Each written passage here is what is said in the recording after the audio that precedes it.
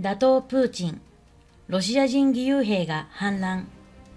祖国と戦う4000人がウクライナ軍と共闘。ウクライナの勝利とロシアの自由のため戦う。ロシアのウラジーミル・プーチン大統領に対し、ロシア人義勇兵による反乱が起きている。プーチン政権の打倒を掲げ、ウクライナ側でロシア軍と戦うロシア人義勇兵団体が22日、通信アプリにウクライナと国境を接するロシア西部ベルゴロド州の一部を解放したと投稿したのだ。報道によると、ロシア人義勇兵は約4000人で3つの部隊が存在している。ロシア人のプーチンへの抵抗はついに戦闘という形にまで発展した。ロシア主要メディアは、ベルゴロド州に22日、ウクライナの破壊工作グループが侵入し、国境付近の町で住宅や工場など数カ所を銃撃したと伝えた。これに対し、ロシア軍や連邦保安局 FSB が合同で掃討作戦を実施したとされている。英国防省の分析によると、19日から22日にかけて、ベルゴロド州内の少なくとも3カ所で、ロシアの治安部隊と破壊工作グループが衝突した可能性が非常に高いという。グループについては、正体は確認されていないが、ロシアの反体制派が実行を主張していると説明した。ベルゴロド州での交戦について、ウクライナ政府は状況を注視しているが、ウクライナは関係ないと関与を否定している。ただ、解放したと宣言したのは、ウクライナサイドに立ってロシア軍と戦うロシア人義勇兵団体、自由ロシア軍とロシア義勇軍だった。ボロディミル・ゼレンスキー大統領率いるウクライナが今後、ロシアへの大規模反攻に出る見込みの中、祖国との戦闘という形で反プーチンの姿勢を示す義勇兵団体はどんな存在なのか。24日付の産経新聞は、義勇兵らの取りまとめ役とされるロシアの元下院議員、イリア・ポノマリョフ氏への取材をもとにロシア人義勇兵団体の詳細を伝えている。ポノマリョフ氏によると、義勇兵は約4000人おり、自由ロシア軍、ロシア義勇軍、国民共和国軍の3団体が存在する。3団体は昨年8月末、キーウ近郊のイルピンで、ウクライナ軍と共闘するとの宣言に署名。宣言では、ウクライナは勝たなければならない、プーチン政権を崩壊させると謳った。ロシア軍兵士が自軍の略奪や性犯罪といった戦争犯罪に嫌気がさしたり、もともとウクライナにいたロシア人が義憤に駆られたりして義勇兵になるケースが多いという。ポノマリョフ氏は、ウクライナの勝利とロシアの自由のため、ロシア人部隊は全力で戦うと語っており、今後さらに義勇兵団体との動向が注目されそうだ。祖国と戦うロシア人義勇兵、プーチン氏打倒へ4000人、西部の攻撃に関与か。ウクライナと国境を接するロシア西部ベルゴロド州のグラトコフ知事は22日、ウクライナの破壊工作グループが州内に侵入し、ロシア軍や治安部隊による反テロ作戦が行われていると明らかにした。交戦は23日も続いた。昨年2月にロシアがウクライナに侵攻して以降、ロシア領に対する最大規模の越境作戦となった可能性がある。ウクライナ側でロシア軍と交戦しているロシア人義勇兵の団体自由ロシア軍とロシア義勇軍がベルゴロド州の一部地区を解放したなどとする声明を通信アプリに投稿した。交戦の規模など詳細は不明だが、グラトコフ氏は攻撃でいくつかの建物が破損し、8人が負傷したとしている。一部のロシアメディアは、連邦保安局 FSB の施設がドローン、無人機による攻撃を受けたと伝えた。ベルゴロド州に侵入したのが装甲車約10台で、ウクライナ側の39人が殺害されたとの情報もある。自由ロシア軍は交戦に先立つ22日朝、自由を守るために武器を取った。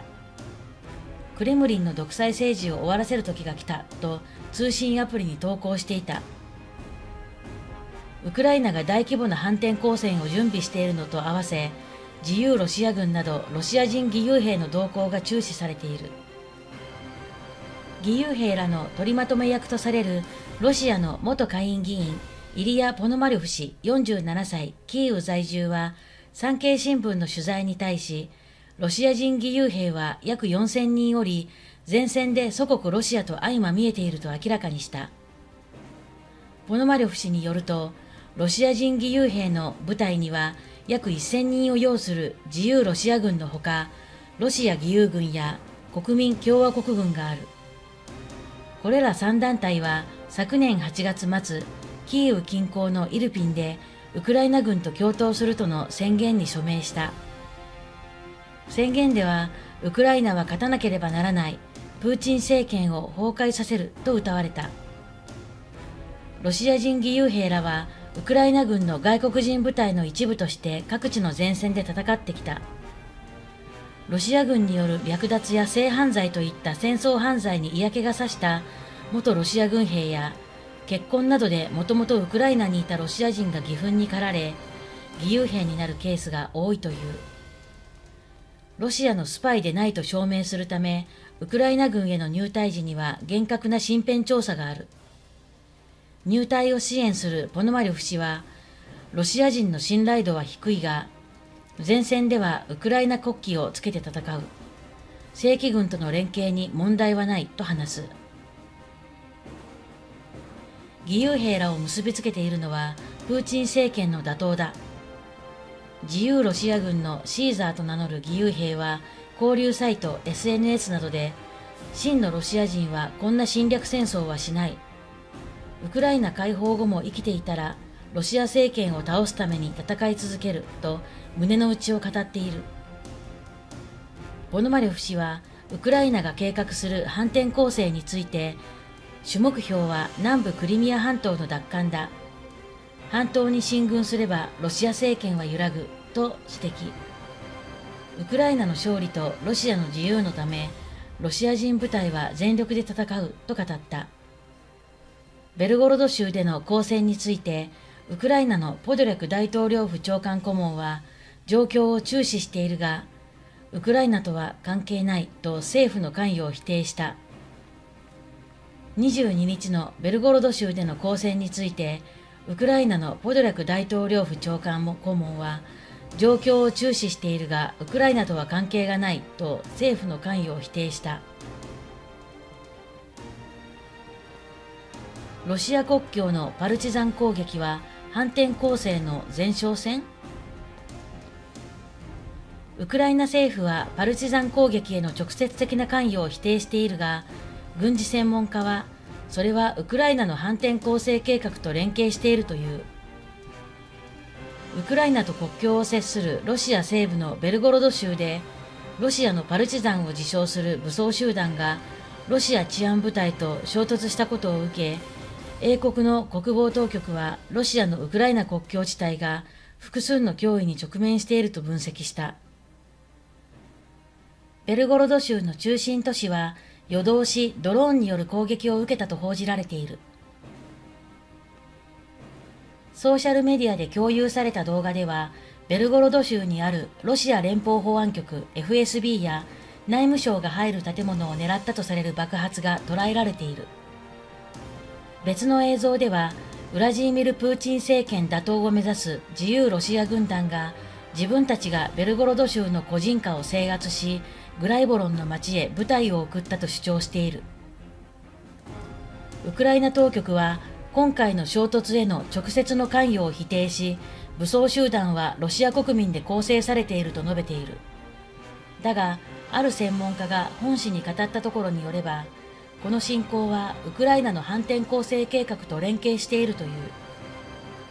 英国防省 MOD によれば、5月19日から22日にかけて、ベルゴロド州内の少なくとも3カ所で、ロシア治安部隊とパルチザンとの衝突があったという。ウクライナの側に立って戦っていると主張するロシアの反政府勢力。ロシア義勇軍団と自由ロシア軍団が犯行声明を出している。グライボロンの町の国境検問所で撮影されたとされる九州場面では、血だまりの中に横たわるロシア軍の将校を含む戦死者と検問所を通過しているらしい装甲車両が見て取れる。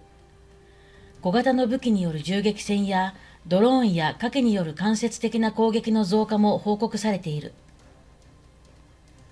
ベルゴロド州のビャチェスラフ・グラトコフ知事がテレグラム上で述べたところによれば、ベルゴロド市や州内各所の上空でドローンが対空システムによって撃墜されたという。グラトコフは対テロ作戦の発動を明らかにしたほか、複数の村で避難が進んでおり、民間人に死者はいないと付け加えた。ロシア政府もこの地域に追加の治安部隊を派遣した。英国防省は5月23日のアップデートの中でこう述べている。ロシアは国境地帯において様々な分野における深刻な安全保障上の脅威の拡大に直面している。戦闘機の喪失や即席爆発装置、IED による鉄道線路への攻撃、そして今回の直接的なパルチザンの攻撃などだ。ロシア側はほぼ間違いなくこの攻撃を自国こそが戦争の被害者だというロシア政府のプロパガンダに利用するだろうと、英国防省のリポートは付け加える。ロシア政府はこの攻撃をウクライナの工作員によるものと非難している。